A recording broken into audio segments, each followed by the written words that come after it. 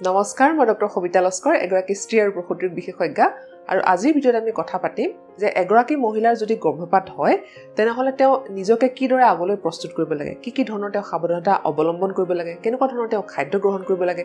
কি কি ধৰণৰ লক্ষণ তেওঁ দেখা দিব পাৰে গৰ্ভপাতৰ পিছত? বা কেনেকুৱা ধৰণৰ লক্ষণে দেখা দিলে তেওঁ অকণমান সাৱধান হ'ব লাগে আৰু ইমিডিয়েট চিকিৎসকৰ ওচৰত চাপিব লাগে ইত্যাদি ইত্যাদি।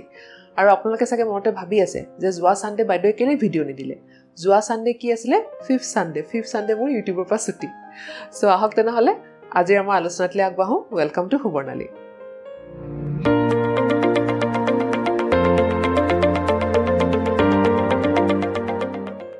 গৰ্ভপাত দুই প্ৰকাৰৰ হ'ব পাৰে। এটাটো হ'ল স্পণ্টেনিয়াছ তাৰমানে নিজে নিজে হোৱা। যিহৰ কাৰণে আপোনালোকৰ হ'ব পাৰে গৰ্ভপাত। অলৰেডি এটা ভিডিঅ' বনাই থৈছোঁ। সেইটো যদি চোৱা নাই এবাৰ চাই ল'বচোন। আৰু ছেকেণ্ডটো হ'ল আপোনালোকে নিজে বিচাৰি পেলাই কৰা যে যিটো অবাঞ্ছনীয় গৰ্ভ আপোনালোকৰ স্থাপন হয় সেইটো যদি আপোনালোকে নিজে নষ্ট কৰায় চিকিৎসকৰ হতুৱাই কৰিব পাৰে সেইটো হ'ল আমি ডি এন ই বুলি কওঁ in short D N E মানে হ'ল ডাইলেটেশ্যন এণ্ড ইভাকুৱেশ্যন আমি যিটো আপোনালোকক কৰি দিওঁ সাধাৰণতে সাত সপ্তাহ যদি পাৰ হৈ যায় আমি সেইটো প্ৰিফাৰ কৰোঁ। আৰু এটা হ'ল আপোনালোকে কিট ব্যৱহাৰ কৰি কৰা গৰ্ভপাত। মানে সেই টেবলেটবিলাক পাঁচটা টেবলেট থাকে যে তাৰ ওপৰতো মই এটা ভিডিঅ' বনাই থৈছোঁ কেনেদৰে খাব লাগে সেইটো আপোনালোকে চাই ল'ব পাৰে। চ' এই দুইটা প্ৰকাৰ আপোনাৰ হ'ব পাৰে। চ' যেতিয়া আপোনাৰ গৰ্ভপাত হৈ যায় ডক্টৰৰ হতুৱাই কৰা হওক বা নিজে নিজে কৰাই হওক বা কিট খাই কৰা হওক হা? চ' যেতিয়া আপোনাৰ এটা গৰ্ভপাত হয় তেতিয়াহ'লে আপোনাৰ গাত কেনেকুৱা ধৰণৰ লক্ষণ হ'ব পাৰে? ইমিডিয়েট আমি তাৰ কমপ্লিকেশ্যনৰখিনিৰ কথা ইমান নাপাতোঁ হা? আমি ধৰি লৈছোঁ এইটো ভিডিঅ'ত আমি ধৰি লৈছোঁ যে আপোনাৰ গৰ্ভপাতখিনি ঠিকে ঠাকে হৈ গ'ল হা? তাৰপিছত আপোনাৰ কেনেকুৱা ধৰণৰ লক্ষণসমূহে দেখা দিব পাৰে? এটাটো হ'ল আপোনাৰ ব্লিডিং হ'ব। ব্লিডিঙৰ পৰিমাণটো ডিপেণ্ড কৰে। কিন্তু খুব সাংঘাতিক হ'ব নালাগে যে আপোনাৰ নৰ্মেল মেনষ্ট্ৰুৱেল ব্লিডিং যেনেকুৱা হৈছে তাতকৈ যদি বেছি হৈ আছে তেনেহ'লে এইটো অকণমান এবনৰ্মেল চ' নৰ্মেলি সাধাৰণতে তেনেকুৱা ধৰণে হয় আৰু কেতিয়াবা আকৌ তাতকৈ কমো হয়। আমি কিছুমান মেডিচিনো প্ৰেছক্ৰাইব কৰোঁ ব্লিডিংটো কমাবৰ কাৰণে। চ' যদি তেনেকুৱা ধৰণৰ আপোনাক মেডিচিন দিয়া হৈছে তেতিয়াহ'লে দেখা যায় যে ব্লিডিঙৰ পৰিমাণ যথেষ্ট কমি থাকে। খুব বেছি সাতৰ পৰা দহ দিন সাতৰ পৰা দহ দিন সাধাৰণতে নাযায় পাঁচৰ পৰা সাত দিনৰ ভিতৰতে সাধাৰণতে ব্লিডিংটো কমি আহে। ছেকেণ্ডলি আপোনাৰ এবডমিনেল ক্ৰেম্পছ মানে অলপমান তলপেটৰ বিষ তলপেটৰ অলপ গধুৰ গধুৰ কিছুমানৰ অকণমান কঁকালৰ বিষ এনেকুৱা ধৰণৰ চিমটম বা লক্ষণো দেখা দিব পাৰে। এইটো হয় কাৰণ জৰাইটো সেইখিনি সময়ত সংকুচিত হৈ থাকে বা ই নিজৰ আগৰ অৱয়ৱলৈ আহিবলৈ চেষ্টা কৰি থাকে। চ' তেনেকুৱা ধৰণৰ হ'ব পাৰে। চ' এই দুটাই হ'ল মেইন লক্ষণ যিটো আপোনাৰ গৰ্ভপাতৰ পিছত সাধাৰণতে দেখা যায়। আৰু এটা হ'ল নজিয়া এণ্ড ভমিটিং মানে বমিৰ ভাৱ বা বমি হোৱাটো। যদি আপোনাৰ অলৰেডি হৈ আছে এইটো ছেটেল হওঁতে তিনি চাৰিদিনমান লাগি যায়। আৰু এটা আপোনাৰ লক্ষণে দেখা দিব পাৰে বিশেষকৈ যাৰ প্ৰেগনেঞ্চি তিনি মাহৰ পাৰ হৈ গৈছে। তেওঁলোকৰ ক্ষেত্ৰতো বেছিকৈ দেখা যায় যে আপোনাৰ ব্ৰেষ্টৰ পৰা গাখীৰ ওলোৱা আৰম্ভ কৰে আপোনাৰ ষ্টনৰ পৰা গাখীৰ ওলোৱা আৰম্ভ কৰিব পাৰে। চ' সেইটোও আপোনালোকে ইমান চিন্তা কৰিব নালাগে। আমি ইউজুৱেলি গাখীৰ ওলোৱা বন্ধ কৰিবৰ কাৰণে তিনি মাহৰ পাছত যদি আপোনাৰ প্ৰেগনেঞ্চিটো নষ্ট হৈছে গাখীৰ ওলোৱা বন্ধ কৰিবৰ কাৰণে কিছুমান দৰৱ দিওঁৱেই। আপুনি সেইবিলাক গ্ৰহণ কৰিব আৰু আপুনি কি কৰিব পাৰে যে আপুনি নিপল ষ্টিমুলেশ্যন নকৰিব। কেতিয়াবা দেখা যায় যে যদি ব্ৰেষ্টৰ পৰা গাখীৰ ওলোৱা আৰম্ভ হয় তেতিয়াহ'লে মহিলাগৰাকীয়ে কি কৰে বাৰে বাৰে চেপি চেপি নিপলটো চেপি চেপি চাই যে গাখীৰটো ওলাই আছে নেকি ওলাই আছে নেকি তেনেকুৱা কৰি থাকিলে কিন্তু আকৌ গাখীৰটো বন্ধ নহ'ব বেছিকৈহে ওলাই থাকিব। নিপল ষ্টিমুলেশ্যন যিটো কোৱা হয় ব্ৰেষ্টৰ পৰা আপোনাৰ যদি নিপলটো আপুনি ষ্টিমুলেট কৰি থাকে বাৰে বাৰে চেপি চেপি চাই থাকে বেবীয়ে গাখীৰ খোৱা নিচিনা এটা আপোনাৰ ব্ৰেষ্টত ফিলিং এটা হয় বা আপোনাৰ ব্ৰেইনে সেইটো ষ্টিমুলাছটো গ্ৰহণ কৰে আৰু আল্টিমেটলি বেছিকৈহে গাখীৰ ওলোৱা আৰম্ভ কৰিব। গতিকে আপোনালোকে অকণো নিপল ষ্টিমুলেশ্যন নকৰিব। আৰু টাইট আণ্ডাৰৱেৰ পিন্ধিব। ভিতৰৰ কাপোৰটো যাতে আপোনাৰ টাইট হৈ থাকে ঢিলা হৈ নাথাকে। সেনেকুৱা ধৰণৰ কাপোৰ আপুনি পিন্ধিব। আৰু বহু মহিলাৰ গৰ্ভাৱস্থাত দেখা যায় যে ব্ৰেষ্টৰ চুৱেলিং হয় তাৰমানে ষ্টনৰ আকাৰটো বাঢ়ে বা অকণমান তেওঁলোকৰ সেইটো বিষ অলপমান অনুভৱ কৰিব পাৰে। সেইটো কমিবলৈও কিন্তু সপ্তাহ লাগি যায় দুই তিনি সপ্তাহ লাগি যাব পাৰে। এতিয়া জানো আহক কিছুমান লক্ষণ যিটো লক্ষণ আপোনাৰ যদি গৰ্ভপাতৰ পিছত হৈছে তেতিয়াহ'লে আপুনি সাৱধান হোৱাটো উচিত। যেনে মই যেনেকৈ প্ৰথমবাৰ ক'লোঁ ব্লিডিঙৰ পৰিমাণটো যদি আপোনাৰ খুব বেছি হৈছে বোলে দুঘণ্টাতে আপুনি একদম তিনিটা চাৰিটা পেড চেঞ্জ কৰিব লগা হৈছে ডাঙৰ ডাঙৰ টুকুৰা পাছ কৰিছে খুব আপোনাৰ বিষ হৈছে হা পেটৰ বিষটো খুব বেছি হৈছে তেনেকুৱা সাধাৰণতে হ'ব নালাগে। ইউজুৱেলি যিটো মই কৈছোঁ অলপ কম বেছি পৰিমাণৰ ক্ৰেম্পছ আহিব পাৰে আপোনাৰ পেটৰ বিষ অলপমান তলপেটটো থাকিব পাৰে কিন্তু খুব বেছি আপোনাৰ তেনেকুৱা ধৰণৰ পেইন আহিব নালাগে হা। আমি কিছুমান দৰৱো দিওঁ এই গৰ্ভপাত হৈ যোৱাৰ পিছত সেইবিলাক খালেও কেতিয়াবা অকণমান ক্ৰেম্পছ আহে কিন্তু তাৰ অনুপাতটো মানে চিভিয়াৰিটিটো খুব সাংঘাতিক হ'ব নালাগে কিন্তু। আৰু লগতে যদি আপোনাৰ ফেইণ্টিং নিচিনা হৈছে মূৰ্চা যোৱাৰ নিচিনা হৈছে পেট ফুলি আহিছে বা খাব পাব মন নোযোৱা হৈছে খুব নজিয়া বা ভমিটিং খুব বমি আকৌ আৰম্ভ হৈছে খুব আপোনাৰ অভোক অভোক লগা হৈছে হা? আপোনাৰ পেচাব পায়খানা কৰাত অকণমান প্ৰব্লেম হৈছে তাৰ সেইটো সেইবিলাক কিছুমান অকণমান কমপ্লিকেশ্যনছ হয়তো গৰ্ভপাতৰ যিটো প্ৰচিডিঅ'ৰ তাৰো কিছুমান কমপ্লিকেশ্যনছ হ'ব পাৰে। চ' সেনেকুৱা ধৰণৰ যদি আপোনাৰ চিমটমছ দেখা দিছে বা লক্ষণ দেখা দিছে আপুনি কিন্তু ইমিডিয়েট আপোনাৰ চিকিৎসকৰ কাষ চাপিব। আৰু লগতে যদি খুব দুৰ্গন্ধ ওলোৱা আপোনাৰ কিছুমান ডিচাৰ্জ পাছ হৈছে একদম পূজৰ নিচিনা সেউজীয়া হালধীয়া হা তেতিয়াও কিন্তু আপুনি সাৱধান হ'ব। এইটো কিন্তু নৰ্মেল নহয়। যিকোনো গৰ্ভপাতৰ পিছত। নিজে আপুনি টেবলেট খাই গৰ্ভপাত কৰা বা ডক্টৰ হতুৱাই গৰ্ভপাত কৰা দুইবিধ ক্ষেত্ৰতে কিন্তু যদি এনেকুৱা ধৰণৰ ডিচাৰ্জ আপোনাৰ হৈছে লগতে ফিভাৰ আহিছে মানে জ্বৰ আহিছে তেতিয়াও কিন্তু আপুনি খুব সাৱধান হোৱা উচিত কাৰণ এইটো এটা ইনফেকশ্যনৰ লক্ষণ হ'ব পাৰে। এতিয়া নেক্সটত আমি জানো আহক যে গৰ্ভপাত হৈ যোৱাৰ পিছত আপুনি কি কি কাম কৰিব নালাগে। টেম্পুন যদি আপুনি ব্যৱহাৰ কৰে দেখা যায় বহু সংখ্যক মহিলাই টেম্পুন ব্যৱহাৰ কৰে মেনষ্ট্ৰুৱেল ব্লিডিঙৰ কাৰণে সেইটো আপুনি ব্যৱহাৰ নকৰিব। আৰু লগতে যদি আপুনি চুইমিং কৰি ভাল পায় সেইটোও আপুনি কৰিব নোৱাৰে কিন্তু। কাৰণ কি হয় জানেনে? এইখিনি সময়ত জৰাইৰ মুখখন খোল খাই থাকে। কাৰণ গৰ্ভপাত হোৱাৰ সময়ত জৰাইৰ মুখখন খোল খাই যায়। চ' এই বস্তুটো আকৌ যেতিয়া আপোনাৰ নৰ্মেললৈ আহিব লাগে সেইটোত মিনিমাম আপোনাৰ দুই সপ্তাহমান লাগি যায়। সেইটো কাৰণে আমি কওঁ যে যিকোনো ধৰণৰ চুইমিং কোনো বস্তুৱে এইখিনি সময়ত আচলতে আপোনাৰ জৰায়ুৰ ভিতৰত সংক্ৰমিত হৈ যোৱাৰ চান্সটো বেছি থাকে ইনফেকশ্যন আৰু সেইকাৰণে আমি এইখিনি সময়ত টেম্পুন বা আপোনাক চুইমিং কৰাটো আমি এভইড কৰাটো বিচাৰোঁ। আৰু যদি আপুনি খুব বেছি ষ্ট্ৰেনুৱাছ এক্সাৰচাইজ মানে খুব কঠিন যিবিলাক আমাৰ এক্সাৰচাইজ থাকে হয়তো আপুনি আগতে কৰি আহিছে কিন্তু তথাপিও এটলিষ্ট যদি আপুনি এসপ্তাহ দুসপ্তাহ হ'লে মিনিমাম এসপ্তাহ যদি আপুনি এইটো নকৰে তেতিয়াহ'লে কিন্তু আপোনাৰ কাৰণে ভাল হ'ব এইটো। আৰু লগতে ফিজিকেল ৰিলেশ্যনো দুসপ্তাহৰ কাৰণে এভইড কৰি ৰাখিব। কাৰণো সেই একেই যে আপোনাৰ সেইখিনি সময়ত কি হয় জৰাইৰ মুখখন খোল খাই থাকে আপোনাৰ ব্লিডিং হৈ থাকে। আৰু এই ব্লিডিংটো বেক্টেৰিয়েল গ্ৰ'থ মানে বাহিৰৰ পৰা যিটো সংক্ৰমণ হয় সেইটো কাৰণে কিন্তু একদম খুব ভাল মিডিয়া মানে বেক্টেৰিয়াবিলাকে সেই ব্লাডটো খুব ভাল কালচাৰ মিডিয়া হিচাপে ব্যৱহাৰ কৰে। গতিকে এইখিনি সময়ত সংক্ৰমণৰ চান্সটো খুব বেছি থাকে। চ' ভেজাইনেল টেম্পুন ব্যৱহাৰ নকৰিব চুইমিং নকৰিব খুব বেছি ষ্ট্ৰেনছ এক্সাৰচাইজ নকৰিব আৰু ফিজিকেল ৰিলেশ্যনৰ কৰাৰ পৰা বিৰত থাকিব এটলিষ্ট দুসপ্তাহলৈকে। আৰু এতিয়া এইখিনিতে মনলৈ আহে যে কি ধৰণৰ খাদ্য আমি গ্ৰহণ কৰিম বা কেনেকুৱা ধৰণৰ আমি ৰেষ্টত থাকিম।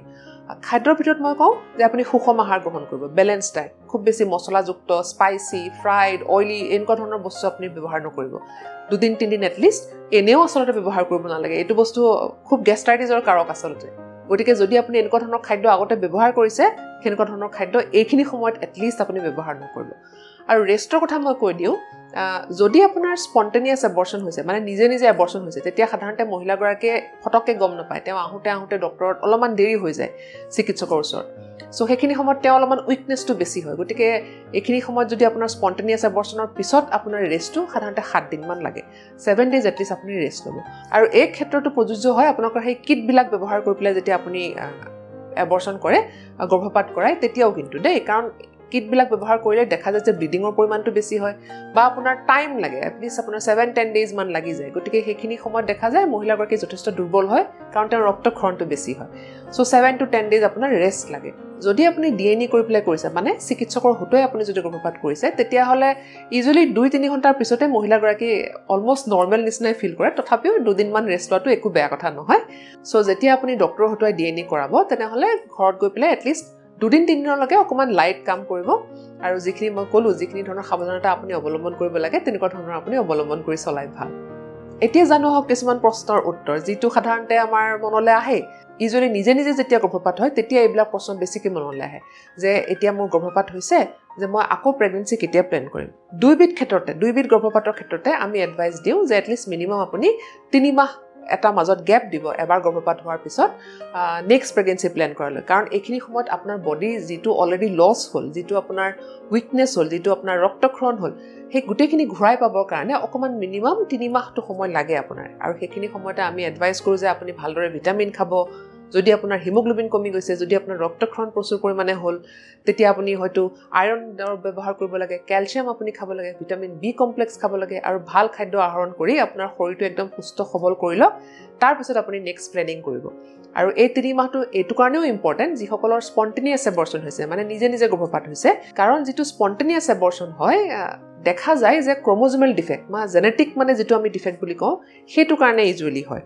চ' তিনিমাহ আমি সময় এইটো কাৰণেও দিওঁ যে যদি কিবা কাৰণত কিবা অভামটোৰে খেলি মেলি আছিলে বা পুৰুষগৰাকীৰ স্পাৰ্মটোৰে খেলি মেলি আছিলে ক্ৰমজমেল ডিফেক্ট আছিলে যিটো কাৰণে এইটো ধৰণৰ ঘটনা এটা বা দুৰ্ঘটনা এটা হ'ব লগা হ'ল সেই বস্তুখিনি যাতে ওলাই যায়গৈ বা বস্তুটো নেক্সট চাইকেলৰ বা এটলিষ্ট তিনিটা চাইকেলৰ ভিতৰত যিখিনি বেয়া আছিলে সেইখিনি বস্তু ওলাই যায়। চ' সেইটো কাৰণেও ইম্পৰ্টেণ্ট যে আপুনি তিনি মাহৰ এটলিষ্ট এটা গেপ দিব। আৰু লগতে এইখিনি সময়ত আপোনাৰ প্লেনিং কৰাটো খুব ইম্পৰ্টেণ্ট যে কিয় কাৰণে হ'ল? স্পেচিয়েলি যিটো আপোনাৰ স্পণ্টেনিয়াছ বা নিজে নিজে যিটো গৰ্ভপাত হয় সেইটো কাৰণে যে কিহৰ কাৰণে হ'ল? তাৰ কাৰণটো জনাটো খুব উচিত। স্পেচিয়েলি যদি আপোনাৰ দুবাৰ তিনিবাৰ হৈ আছে বাৰে বাৰে গৰ্ভপাত হৈ আছে দেই আপুনি ডক্টৰৰ ওচৰত আহিব আমি বিভিন্ন ধৰণৰ কিছুমান টেষ্ট কৰিম হয়তো আপোনাৰ হৰ্মনেল এনালাইচিছ কৰিম আপোনাৰ জৰাৰীৰ ভিতৰত বোলে কিবা গঠনৰে খেলি মেলি আছে নেকি সেইটো আমি চাম। আৰু গোটেইখিনি পৰীক্ষা নিৰীক্ষা কৰি পেলাই আপুনি নিজকে প্ৰিপেয়াৰ কৰি পেলাই এনেদৰে আগবাঢ়ক যাতে নেক্সট এনেকুৱা ধৰণৰ দুৰ্ঘটনা আপোনাৰ জীৱনলৈ নহয়। নেক্সট প্ৰশ্নটো মনলৈ আহে যে গৰ্ভপাত হৈ যোৱাৰ পিছত আকৌ আপোনাৰ পিৰিয়ডছ কেতিয়া হ'ব? মাহেকীয়া ঋতুস্ৰাৱ কেতিয়া আৰম্ভ হ'ব? Four to six weeks usually দেখা যায় যে চাৰিৰ পৰা ছয় সপ্তাহৰ ভিতৰত আৰু খুব ৰেয়াৰলি কিছুমানৰ তাতকৈ আগতেই হয়। বাট ইউজুৱেলি দেখা যায় যে ফ'ৰ টু ছিক্স উইকছৰ ভিতৰত আপোনাৰ নেক্সট মাহেকীয়া পিৰিয়ডটো ষ্টাৰ্ট হয়। আৰু প্ৰেগনেঞ্চি টেষ্টটো কেতিয়া নিগেটিভ হয়? প্ৰেগনেঞ্চি টেষ্টটো নিগেটিভ হ'বলৈও ইউজুৱেলি মিনিমাম আপোনাৰ দুসপ্তাহ সময় লাগে আৰু মেক্সিমাম আপোনাৰ চাৰি সপ্তাহ। ইউজুৱেলি দেখা যায় যে দুসপ্তাহৰ পৰা তিনি সপ্তাহৰ ভিতৰতে প্ৰেগনেঞ্চি টেষ্টটো নিগেটিভ আহি যায়। কিন্তু খুব ৰেয়াৰলি দেখা যায় যে আপ টু চাৰি সপ্তাহ কেতিয়াবা কিছুসংখ্যক মহিলাৰ লাগি যায় নিগেটিভ হ'বলৈ। আৰু এটা প্ৰশ্ন আপোনালোকৰ মনলৈ আহিব পাৰে যে কি কি ধৰণৰ গৰ্ভনিৰোধক প্ৰণালী আপোনালোকে গৰ্ভপাতৰ পিছত ব্যৱহাৰ কৰিব পাৰে? গৰ্ভনিৰোধক পিলেই হওক কপাৰ টি হওক বা আপোনাৰ ইনজেকশ্যনছ বিধে হওক এই গোটেইকেইটা প্ৰণালীয়ে আপুনি ইমিডিয়েট গৰ্ভপাত হোৱাৰ পিছত ব্যৱহাৰ কৰিব পাৰে। কিন্তু মই পাৰ্চনেলি বা বহুত সংখ্যক চিকিৎসকেও তেওঁলোকৰ নিজৰ পাৰ্চনেলি সেইটো আপোনালোকে ডিফাৰ কৰিব পাৰে যে কেনেকৈ আপোনালোকক এডভাইচ কৰে। এতিয়া মই মোৰ পেচেণ্টখিনি কওঁ যে আপোনালোকে নেক্সট মাহেকীয়াটো এটলিষ্ট হৈ যাব দিয়ক তাৰপিছত আপোনালোকে ব্যৱহাৰ কৰিব। নিজৰ নিজৰ প্ৰট'কল থাকে নিজৰ নিজৰ এক্সপিৰিয়েঞ্চৰ পৰাও আমি যিবিলাক ধৰণৰ জ্ঞান আহৰণ কৰোঁ সেই অনুপাতি আপোনালোকৰ প্ৰট'কলটো প্ৰত্যেকগৰাকী চিকিৎসকৰে ক্ষেত্ৰত বেলেগ হ'ব পাৰে। আৰু এটা খুব ইম্পৰ্টেণ্ট কথা হ'লগৈ আপোনাৰ ব্লাড গ্ৰুপটো যদি কিবা কাৰণত আপোনাৰ ব্লাড গ্ৰুপটো নিগেটিভ হয় আৰু আপোনাৰ হাজবেণ্ডৰ পজিটিভ হয় তেতিয়াহ'লে কিন্তু আপুনি গৰ্ভপাত হোৱাৰ পিছত এটা এণ্টি ডি ইনজেকশ্যনছ ল'ব লাগে। এতিয়া সেই এণ্টি ডি ইনজেকশ্যনছটো কিয় ল'ব লাগে কি কথা সেইটো মই এটা বেলেগকৈ আৰ এইচ নিগেটিভ মানে আপোনাৰ যদি নিগেটিভ ব্লাড গ্ৰুপ হয় সেইখিনি সময়ত প্ৰেগনেঞ্চি হ'লে কি কি ধৰণৰ আপোনাৰ বেবীৰ ওপৰত প্ৰভাৱ পৰিব পাৰে কু প্ৰভাৱ পৰিব পাৰে আৰু কিহৰ কাৰণে এইবিলাক ইনজেকশ্যন দিয়া হয় সেইটো এটা মই বেলেগকৈ ভিডিঅ' বনাম। আজিৰ ভিডিঅ'টো আমি অকল এইখিনি কথাতে সামৰণি মাৰিম। যে কিহৰ কাৰণে কেনেকুৱা হ'ব পাৰে কি কি কৰা উচিত বা অনুচিত ঠিক আছে? চ' এণ্টি ডি যিটো আপোনাৰ ইনজেকশ্যন আছে সেইটো লোৱাটো কিন্তু খুবেই ইম্পৰ্টেণ্ট যদিহে আপোনাৰ ব্লাড গ্ৰুপটো নিগেটিভ আছে আৰু আপোনাৰ হাজবেণ্ডৰ ব্লাড গ্ৰুপটো পজিটিভ আছে। আৰু শেষত চবতছে ইম্পৰ্টেণ্ট কথা হ'ল ইম'চনেল ছাপৰ্ট এগৰাকী মহিলাৰ যেতিয়া গৰ্ভপাত হয় বিশেষকৈ যিসকল মহিলাৰ স্পণ্টেনিয়াছ গৰ্ভপাত হৈছে মানে নিজে নিজে গৰ্ভপাত হৈছে তেওঁলোকে বিচৰা নাই নিবিচৰাকৈ তেতিয়াহ'লে তেওঁলোকৰ বহুত ধৰণৰ ইম'চনেল ছাপৰ্টৰ দৰকাৰ হয়। হাজবেণ্ডৰ ফালৰ পৰাও হওক বা ফেমিলি ছাপৰ্টেই হওক বা ফ্ৰেণ্ডছৰ ফালৰ পৰাই হওক। গতিকে এইখিনি সময়ত মহিলাগৰাকীক ইম'চনেল ছাপৰ্ট দিয়াটো গোটেইখিনি শেষ হৈ যোৱা নাই। আগলৈ কিয় হ'ব এনেকুৱা? আগলৈ নহয় নহয় তেনেকুৱা। যেনেদৰে কিছুমান ফুল কলিতে মৰহি যায় কিন্তু সেনেকুৱাটো নহয় যে গছজোপাত আৰু ফুল নুফুলিব বা ফল নালাগিব। গতিকে আপুনি একদম মনটো ষ্ট্ৰং কৰি ৰাখিব আৰু যিকোনো ধৰণৰ নিগেটিভ চিন্তা আপোনাৰ মনলৈ নাহিব আৰু সদায় নিজকে এটা পজিটিভ এনাৰ্জি দিব। পজিটিভ এনাৰ্জি দিলে কি হয় জানে? এই হেপী হৰমনছবিলাক আমাৰ গালৈ আহে। মই যে এটা বনাইছিলোঁ ভিডিঅ' চাইছিলোঁ সুখৰ সন্তানত তেতিয়া কৈছোঁ নহয় কেনেকুৱা কেনেকুৱা ধৰণৰ ভাল ভাল কেমিকেলছ আমাৰ গালৈ আহে আমাৰ ব্ৰেইনৰ পৰা ছিক্ৰেট হয়। চ' সেনেকুৱা ধৰণৰ কিছুমান কেমিকেল যেতিয়া আপোনাৰ গাত আহিব আপোনাৰ ফিল গুড হৰমনছবিলাক যেতিয়া আহিব তেতিয়া নিগেটিভিটি বা বডিত যদি আপোনাৰ কিবা আছেও সেইবিলাক লাহে লাহে দূৰ হৈ যাব। নিজকে প্ৰিপেয়াৰ কৰক জ্ঞান আহৰণ কৰক প্ৰত্যেকটো কথাৰ কাৰণে আৰু নিজকে প্ৰিপেয়াৰ কৰি পেলাই একদম যুদ্ধলৈ আগবাঢ়ি যাওক মানে জীৱন যুদ্ধলৈ। ঠিক আছে?